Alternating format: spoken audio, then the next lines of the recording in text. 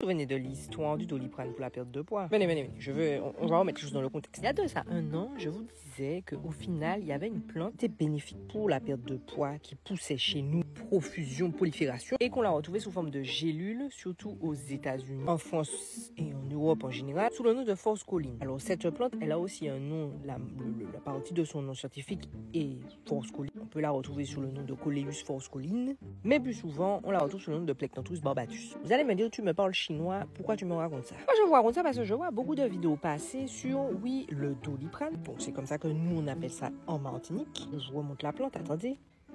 Ça, c'est du doliprane, d'accord? Les feuilles sont molles, ok? Ça, c'est du doliprane pour nous en Martinique. Je le redis, nous en Martinique. Pourquoi je vous saoule avec les noms scientifiques? C'est parce que ça, en Guadeloupe, ça s'appelle Éphégalgan. Et l'Éphégalgan chez nous, c'est ça, d'accord? Ça, c'est Plectanthus neochilus.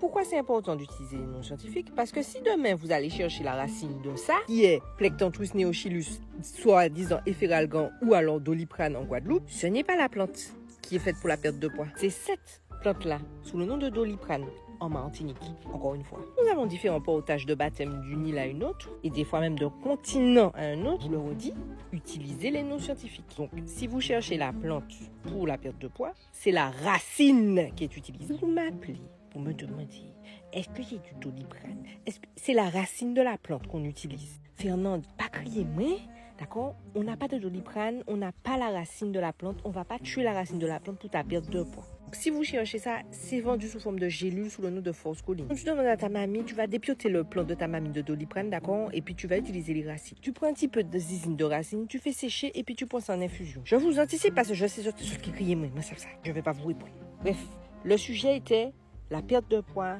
les racines qui sont utilisées, c'est le doliprane, Plectanthus barbatus pour nous en Martinique. Vous avez un doute?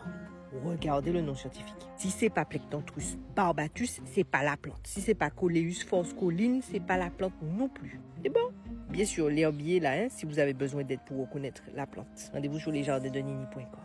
En attendant, abonne-toi s'il te plaît. Dis-nous comment toi tu l'appelles dans ton pays.